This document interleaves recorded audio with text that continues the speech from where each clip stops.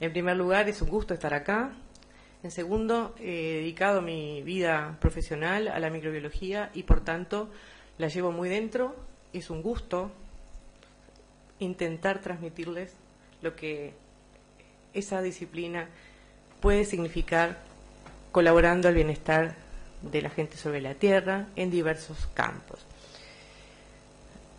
En verdad, biotecnología genéricamente hablando incluye, podemos buscar muchas definiciones, pero el objetivo de traerla hoy es que en realidad vamos a intentar que hablar de qué tipo de microorganismos nosotros exclusivamente de los que incluimos en la siguiente transparencia.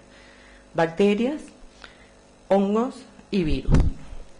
Estos tres tipos de seres vivos están incluidos en la microbiología. Algunos se han ido eh, abriendo la misma disciplina en función de lo que ha crecido. Por ejemplo, la parasitología, la protozoología, es decir, una serie de disciplinas biológicas que han ido migrando hacia. Y en particular, solemos hablar de los virus en el ámbito de la biotecnología, que al que yo me voy a dedicar ahora, específicamente los virus que atacan bacterias.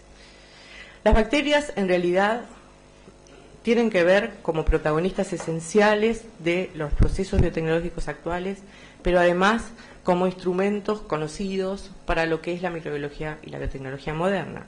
Las protagonistas, en particular, como bacterias más conocidas, es la Escherichia coli, no pensada como microorganismo que produce enfermedad, sino pensado como herramienta para lograr, por ejemplo, clonar genes, por ejemplo, expresar enzimas. En los hongos, la vedette es el hongo conocido como Saccharomyces cerevisiae, que en realidad es una levadura. Es de los primeros conocidos, pero además ha sido un instrumento fundamental para el avance de la biotecnología en el campo de los microorganismos, de los eucariotas, por cuanto su estructura celular es similar al hombre y de los animales y de los vegetales. Por lo tanto, es una herramienta más. Y finalmente, el otro instrumento microbiológico protagonista de la microbiología, eh, fundamentalmente de la microbiología moderna, son los virus y en particular los fagos, que se utilizan en todas las técnicas modernas, por ejemplo, de clonado de genes.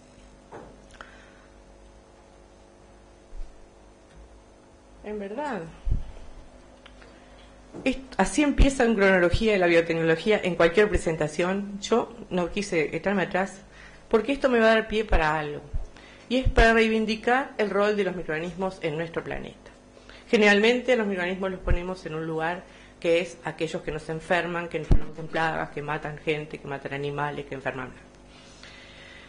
Entonces, la mejor manera de demostrar que son realmente útiles, que los tenemos que cuidar, que los tenemos que aprovechar para el bienestar de la humanidad, es imaginarnos qué sería la vida en la Tierra sin ellos. La vida sin ellos significaría desaparecerían los alimentos cárnicos en la medida que los animales cuyo rumen funciona fundamentalmente en base a los microorganismos presentes desaparecerían. Los cultivos que dependen de la fijación del nitrógeno atmosférico, como vamos a ver, sospecho en la última presentación de hoy, también pasarían a mermar. En el caso del mar, los peces sobre todo viven de los pequeños, de los microorganismos que están sobre las costas y por lo tanto desapareciendo también, quedaríamos con esa fuente menos de alimento. El oxígeno, recordemos que las plantas tienen un rol fundamental, pero la mitad del oxígeno que tenemos en el planeta se lo debemos a las bacterias fotosintéticas que hoy están siendo empleadas también en biotecnología con, por ejemplo, esta finalidad. Los alimentos producidos por microorganismos, ni que decir si los destruimos. Por ejemplo, las levaduras, por ejemplo, el yogur, por ejemplo, el queso. Y finalmente, estaríamos realmente en un mundo cubierto de desechos, en la medida que es importantísimo el rol que los microorganismos cumplen en el reciclaje de los elementos en la naturaleza. Una vez que hablamos de esto, tenemos que decir que en realidad a esto le llamamos biotecnología, pero era sin querer.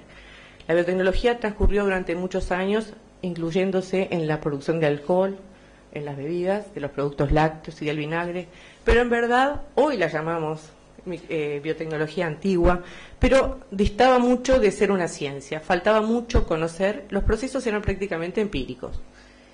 Por lo tanto, fue a partir de Pasteur que logramos dominar, gobernar y cultivar los microorganismos, que podemos decir que la biotecnología basada en microorganismos realmente se empezó a transformar en una ciencia. Por más que todo el mundo lo conoce a Pasteur por otras cosas, este fue su rol, enseñarnos a conocer y a gobernar el mundo de los microorganismos que hasta ese momento crecían espontáneamente sin que el hombre pudiera influir en mí. A continuación de saber conocerlos, pudimos, con el avance de otras ciencias como la bioquímica y la química, aprender que los microorganismos, además de ser ellos como células y por lo tanto, por ejemplo, ser levaduras, o también producían metabolitos. Lo primero que aprendimos fue que producían ácido láctico en las bebidas fermentadas, pero también que eran capaces de producir otras cosas, tales como ácidos orgánicos e incluso combustibles que fueron utilizados durante la guerra, como por ejemplo hidrógeno. La era de los antibióticos es una etapa que, siguió a continuación y que nos permitió el control de las enfermedades, que no es poca cosa, y en realidad la mayor parte de los antibióticos hoy día son fundamentalmente producidos por microorganismos, más allá de uno o dos que han logrado ser sintetizados completamente, como el clorofenicol y algunas quinolonas. Los demás siguen siendo, al menos parcialmente, de origen microbiano. El otro tema que tiene que ver con los antibióticos y que ya de paso voy a deslizar es que la resistencia a los antibióticos que fueron desarrollando microorganismos patógenos generó la posibilidad de utilizar como marcadores en el área biotecnológica esos genes de resistencia. Y así se emplean hoy en ingeniería genética. Después de la, de la, era de antibióticos, pasamos a la era de las enzimas, los aminoácidos, la proteína unicelular, los polisacáridos, y esto es lo que llamamos biotecnología clásica, para finalmente llegar, a mí me resulta, este, es verdad, es biotecnología moderna porque es la más reciente y es lo mismo que si habláramos de la historia en cualquiera de sus niveles. Y el último, esta última etapa la marcó la aparición de la ingeniería genética. Esto es, a partir de que se pudo conocer la estructura molecular de los genes y trabajar con ellos. En este campo solo voy a decir una cosa, y es que el desarrollo de todas las técnicas de biología molecular se deben, eh, en parte se ha hecho por las enzimas que, que son capaces de cortar el ADN para hacer diversos tipos de construcciones y casi todas provienen exclusivamente de bacterias y hoy día de bacterias llamadas arquebacterias. Quiere decir que este es otro de los aportes transversales que ha hecho la microbiología. Podemos cultivar bacterias para obtener enzimas de restricción, enzimas que se utilizan para lograr, por ejemplo, clonar genes. Tanto ha crecido en los últimos años la biotecnología que a alguien se le ocurrió clasificarla en base a colores. Yo quise pasar por acá diciendo que tenemos una biotecnología blanca. La biotecnología blanca incluye lo que tiene que ver con las aplicaciones a escala industrial, parte de la cual yo voy a desarrollar. Tenemos una biotecnología verde, que es toda la biotecnología incluida en los procesos agrícolas la biotecnología roja, no me gustó el, nombre, pero es la vinculada a todo lo que es salud. Y finalmente tenemos la última en ingresar, es el azul, que es la biotecnología de los productos derivados del mar. En esto, en cualquiera de estos, de estas áreas vamos a tener aspectos microbiológicos y aspectos no microbiológicos, En el caso de la de la biotecnología azul, por ejemplo, hay muchos grupos en el mundo buscando productos con de interés, por ejemplo, para actividad biológica en el fondo del mar. Y esa es la nueva biotecnología, que es la biotecnología azul. Entonces, yo me voy a dedicar en particular a hablar en este ratito de la biotecnología industrial en la medida que algunos aportes a lo largo de trabajo hemos podido hacer. Pero sin duda, dentro de esta biotecnología blanca está la de la, biotecnología de la producción de alimentos. Todos sabemos del queso, del vino, de la cerveza y del vinagre. En cuanto a al aspecto salud, en este caso están incluidos exclusivamente los, los, medicamentos de origen, que como dijimos, los antibióticos, pero recordemos que también las vitaminas son producidas por microorganismos y que también las hormonas, las primeras hormonas que se pudo administrar eh, en verdad procedían de un proceso que se llama biotransformación, en el cual los microorganismos, en particular hongos, hacen modificaciones químicas altamente específicas, o sea, cambian un lugarcito de una molécula muy grande, dando lugar exactamente a la hormona que queremos este, obtener. Hoy esa área, que es la de las biotransformaciones, está teniendo un auge muy grande porque queremos lograr tecnologías limpias, tecnologías verdes y desde ese punto de vista usar una enzima y un microorganismo y el microorganismo o la enzima solo conduce a un gasto mucho menor de químicos y por lo tanto una propuesta de contaminación mucho más baja. Quiere decir, todos los microorganismos y sus enzimas están siendo vistos con muy buenos ojos a la hora del diseño de un proceso poco contaminante o que se ajuste fácilmente a reglas de eh, respeto al medio ambiente. Yo voy a conversarles un poquito de estas últimas tres cosas que quedan acá, que son en las que de alguna, de alguna manera puedo contarles algo. Es decir, podemos en el Uruguay hacer algo aún en, en la biotecnología clásica.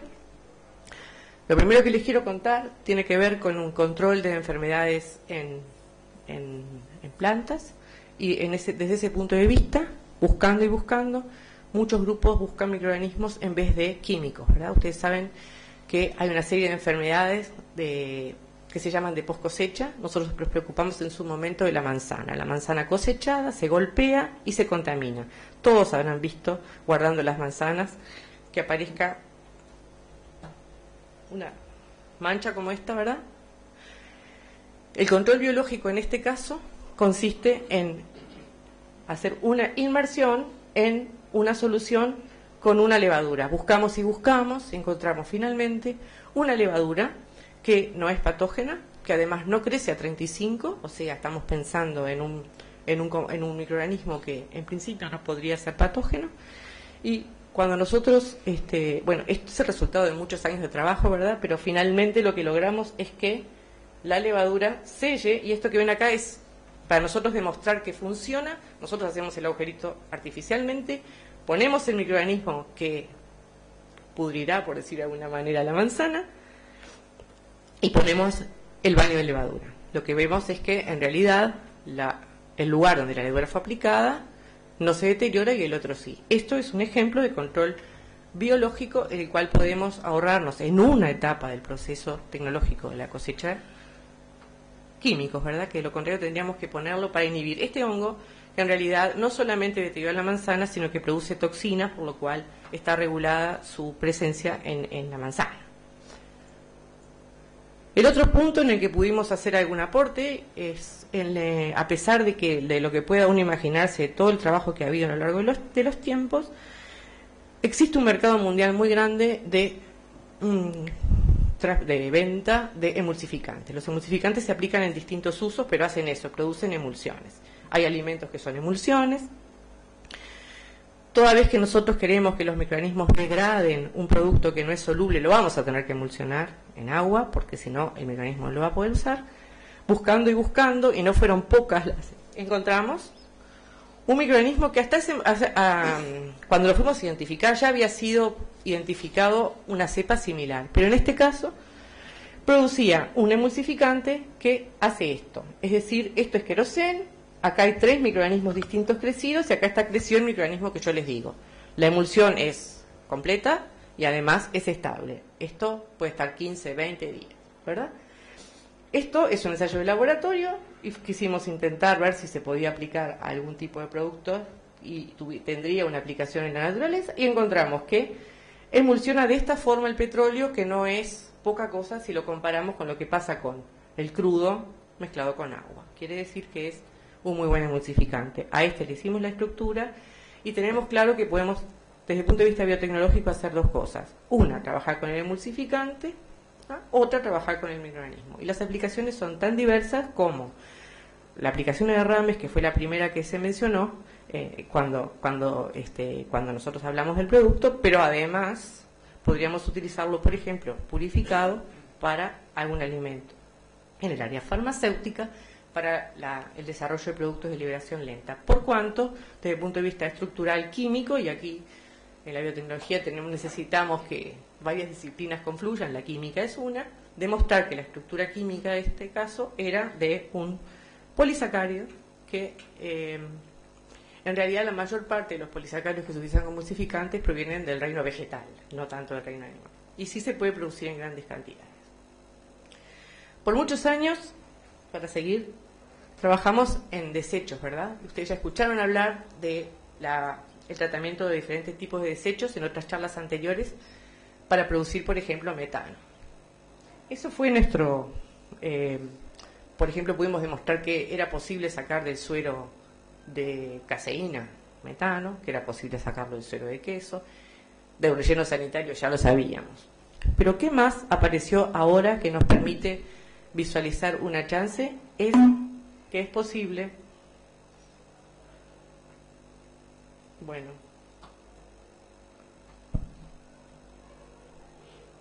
está bueno porque no ya está. Si sacamos el metano del en vez de producir metano, podemos producir electricidad. Esa novedad apareció recientemente. Ocurre que estudiando eh, la microbiología de microorganismos muy particulares, microorganismos que son capaces de crecer respirando productos que no son oxígeno, que en el reino bacteriano hay muchísimos, encontramos una bacteria que se llama Geobacter, que tiene la chance de en su proceso metabólico, respirando, en vez de transferir los electrones al oxígeno, transferirlos a un electrodo, en particular de hierro, porque son bacterias que respiran hierro. Esto está siendo estudiado en profundidad porque, por ejemplo, podemos aprovechar a generar pequeñas cantidades de electricidad por ahora para monitorear campos de arroz, para monitorear la actividad biológica en diferentes lugares, porque en realidad no, generamos mucha, mucha energía, pero esa es una energía que permanentemente se va a, generar. Y en este caso, este es el ejemplo, la foto final del sistema, ¿verdad? Tenemos un lago y la generación de electricidad en, en este caso. Esquemáticamente podemos ponerlo en un sedimento. La ventaja es que hay una parte que es el ánodo que se entierra y el cátodo es aerobio y esto es, real, existe y en verdad tenemos gente trabajando en este tema en, salió en nuestro laboratorio en Alemania. Este, la persona que, del grupo que, de la gente que descubrió este microorganismo realmente cree que a futuro podemos generar electricidad en vez de metano que tiene dificultades incluso por su uso y por el efecto invernadero.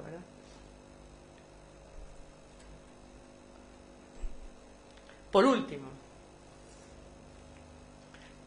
este, ¿tenemos algo para hacer en biotecnología clásica? Nosotros mostrado que sí, pero quiero contarles dos cosas. Primero, que vamos a poder biológicamente remover azufre de los combustibles que son realmente una complicación, por ejemplo, para minimizar el efecto de producción de lluvia ácida, que es tremendo lo que daña un montón de cultivos y de bosques. Segundo, hemos encontrado ya microorganismos que son capaces de producir fibras similares a la celulosa, con las cuales podríamos llegar a obtener este, celulosa para obtener, por ejemplo, papel, biopapel, por llamarle de alguna manera. Y finalmente, el gran campo en el área de la biotecnología microbiana está en el lugar de descubrir enzimas de microorganismos que aún no han sido cultivados. Tantos años de microbiología y cuánto queda. Bueno, la gente más optimista cree que el 99% de los microorganismos aún no se han podido cultivar. Como ustedes saben, cultivar microorganismos significa después poderlo hacer a gran escala y poder obtener su producto.